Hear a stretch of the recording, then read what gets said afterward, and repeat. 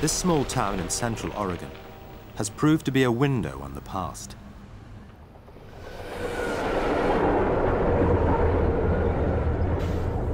Some of the region's most important fossil evidence has been unearthed beneath its streets.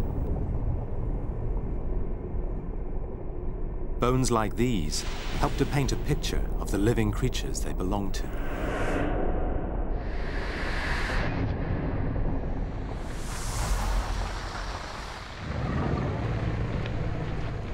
This was the largest grazer in the Northwest, standing four meters at the shoulder, the Columbian mammoth.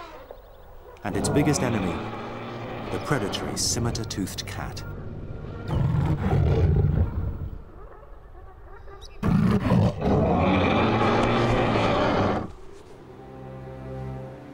As the great melt began, grazers and meat eaters alike were faced with massive change.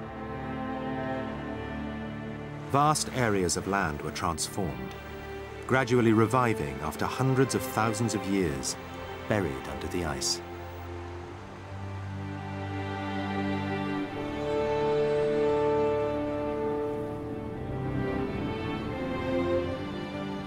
The glaciers we still see today in the Northwest are mere remnants of immense ice blankets that once dominated North America.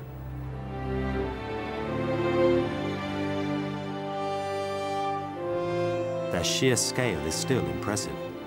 Some are several miles wide, hundreds of meters deep.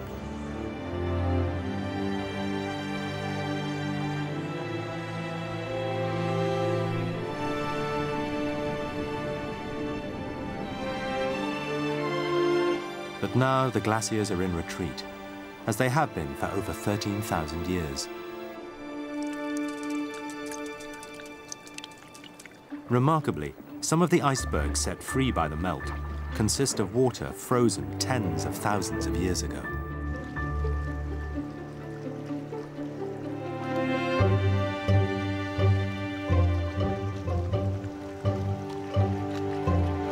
These floating fragments now provide a temporary resting place for harbor seals and their pups.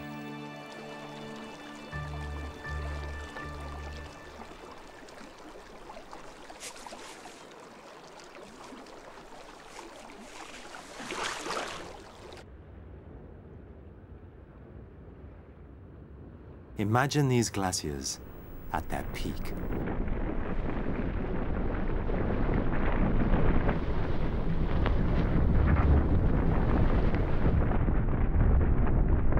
It's thought they covered half the continent in layers almost two miles deep.